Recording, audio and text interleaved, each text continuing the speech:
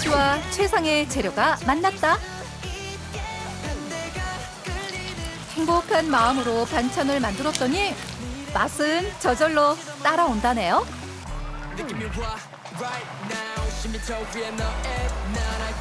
어, 뭐 음식도 어쨌든 깔끔하고 다 엄마들 사이에서도 평이 되게 좋아요. 맞아요.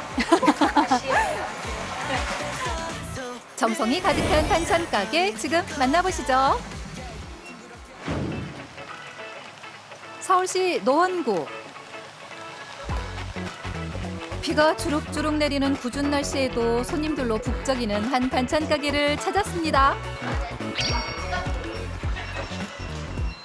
아니 그 요리를 잘하십니다. 맛이 소문이 잘 잘하십니다. 정말 둘이 먹다 셋이 죽어도 모르지만 오, 고사리나 죽순, 그 다음에 생선 요리가 있어요. 마산주 쪽은 생선이 많거든. 먹으면 고향 생각이 나서 나를 위해서 이렇게 편하게 해주구나 싶어. 중요하죠. 사람들이 입모아 칭찬하는 손맛의 주인공을 만났습니다. 쫀득한 코다리. 그동안 조림으로만 즐겼다면 어. 주인장표 특제 양념 바른 구이는 어떠신가요? 구웠어요. 자신 있게 내어주는 별미도 있답니다. 갈치 새끼예요. 또 감칠맛이 갈치가 워낙 좋잖아요. 그래서 그, 그런 맛들이 굉장히 풍부해요. 감칠맛 최고. 기분 좋게 매콤한 풀치 볶음 완성.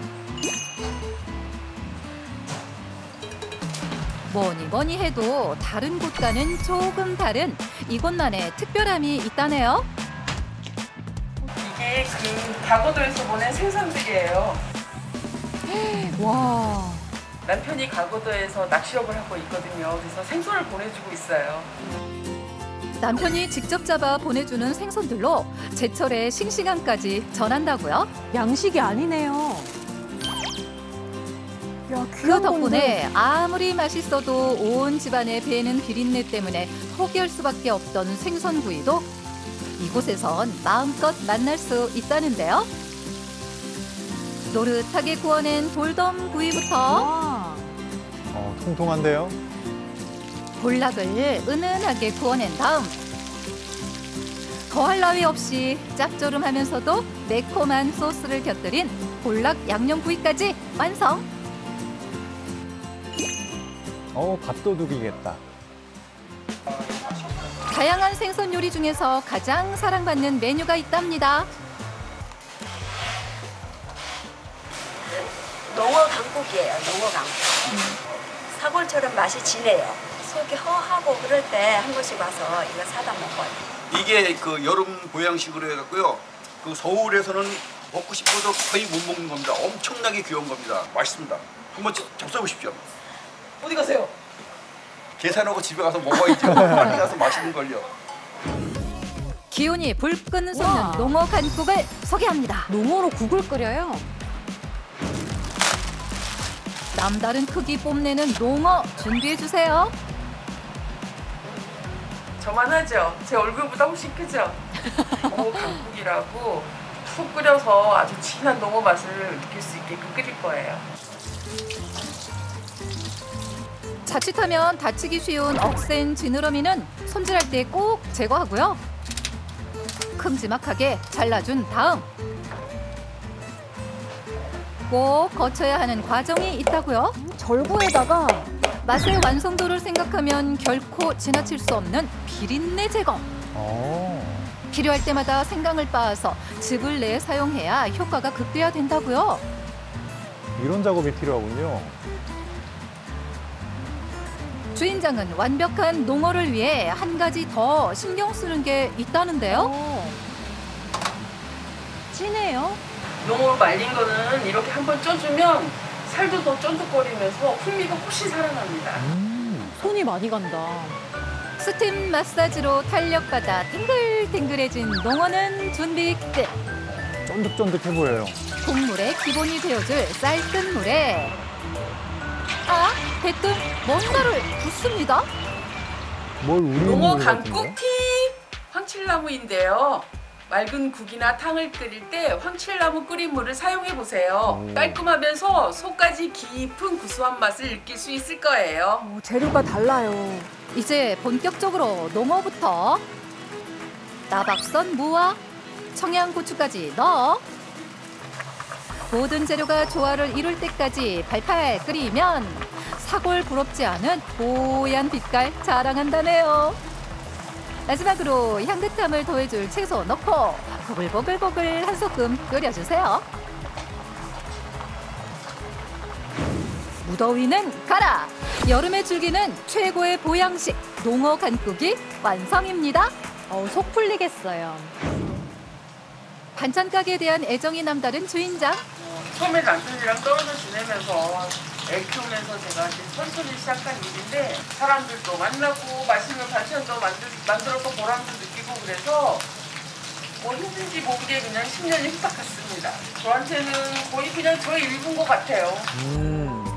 주인장의 곁을 지키는 이가 있었으니 바로 동생입니다.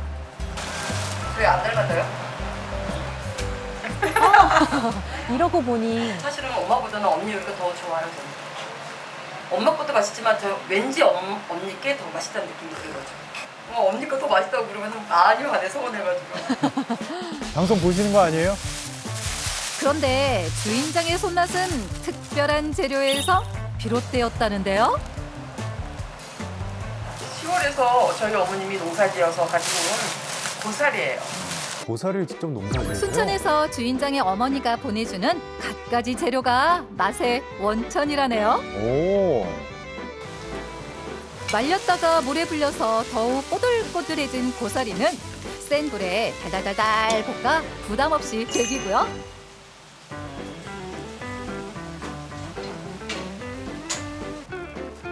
어머니가 손수 키워내 정성이 담긴 죽순과 남편이 보내준 돌미역의 환상적인 만남. 아, 미역이랑 새콤하게 초무침으로 맛보는 게 제격이랍니다. 음, 상큼하겠어요. 오, 이것도 궁금한데요? 쌀가루 좀 가지고 와. 에. 어디서 가져오나 했더니 아 여긴 방앗간이잖아요. 갑자기 이렇게? 이곳 주인장이 기다렸다는 듯 쌀을 빻아서 내어주는 이유가 있답니다. 떡집이에요. 공치기 넣을 쌀가루 가져가는 거예요. 필요할 때 조금씩 얻었습니다. 야, 대접 하나 들고 가서. 쌀가루는 반찬 곳곳에서 진가를 발휘하는데요. 저희 오. 닭도리탕에는 쌀가루를 넣어야지 구수한 맛이 엄청 올라가요. 한층 더 걸쭉해진 국물에 고기 한 점 턱 얹어 맛보고 싶은 닭볶음탕이 완성!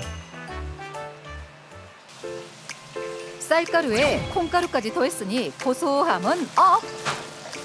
이맘때 꽈리고추보다 더 연하다는 열이고추를 살짝 쪄서 아삭아삭한 식감 살려 색다른 매력의 무침까지 완성하면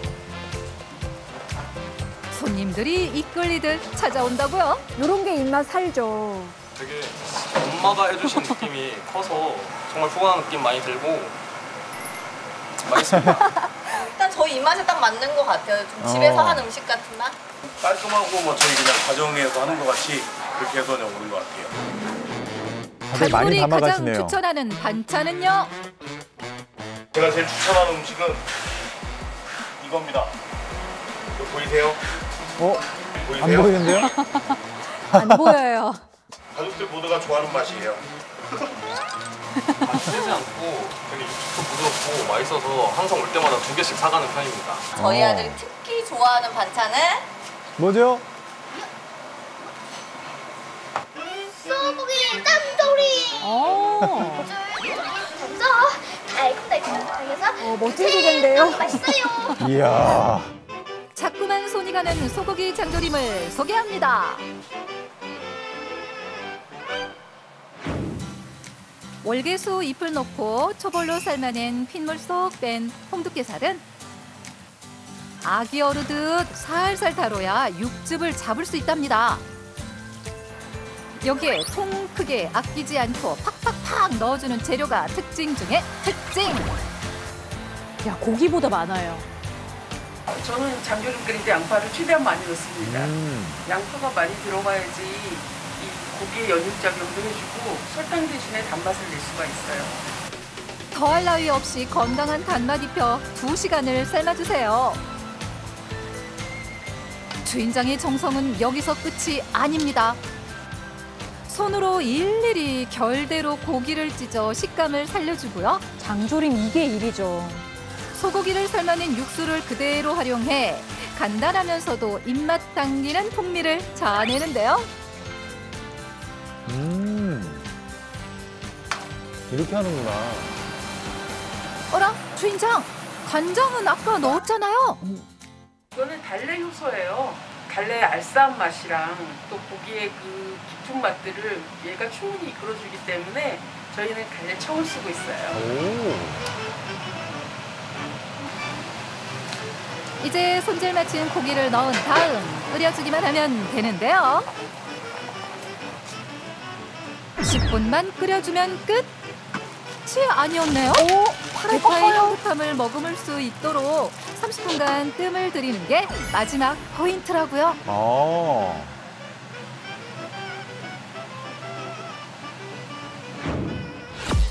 누구나 반하게 되는 맛. 소고기 장조림이 완성입니다. 반찬 인생 10년. 누구보다도 긴 하루를 보낸다는 주인장 자매인데요.